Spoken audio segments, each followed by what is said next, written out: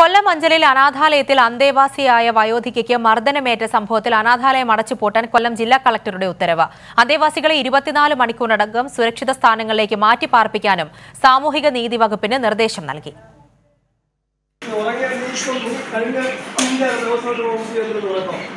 കഴിഞ്ഞ ഓഗസ്റ്റിലായിരുന്നു ക്രൂരമായ സംഭവം. അന്തേവാസികൾക്ക് മുന്നിൽ ചൂരൽ വടിയുമായി നടക്കുന്നതാണ് സ്ഥാപന ഉടമ സജീവൻ.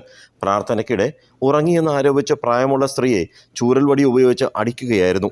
ആരോഗ്യസ്ഥിതി തീരെ മോശമായ സ്ത്രീയെ എഴുന്നേൽപ്പിച്ച് നിർത്തി ഭീഷണിപ്പെടുത്തുന്നതും കാണാം. സ്ഥാപനത്തിലെ മുൻ ജീവനക്കാരനായ ഏരൂർ സ്വദേശി ജസീം സലീമാണ് ദൃശ്യങ്ങൾ പകർത്തിയത്. ഈ ദൃശ്യങ്ങൾ കഴിഞ്ഞ ദിവസം സാമൂഹ്യ മാധ്യമങ്ങളിൽ പ്രചരിച്ചു.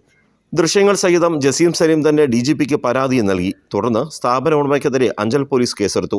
ദൃശ്യങ്ങൾ പുറത്തു വന്നിട്ടും താൻ അന്തേവാസികളെ മർദ്ദിച്ചിട്ടില്ലെന്നാണ് സജീവന്റെ നിലപാട്. സംഭവത്തിൽ സംഭവത്തിൽ പ്രതിഷേധിച്ച ഡിവൈഎഫ്ഐയുടെ നേതൃത്വത്തിൽ അനാഥ മന്ദിരത്തിലേക്ക് മാർച്ച് നടത്തി. കൈരളി ന്യൂസ് കൊല്ലം.